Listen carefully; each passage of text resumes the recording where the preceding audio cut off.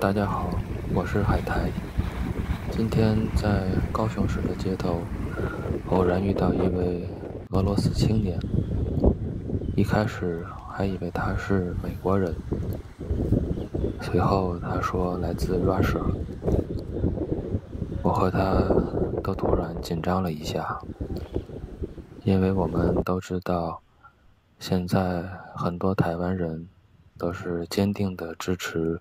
乌克兰的俄罗斯和他的总统已经是人设崩塌，我只好安慰青年说：“好在你们的总统是民主选举出来的。”但是青年说：“不是这样的，普京可以决定自己是否做总统，做多久总统都可以。”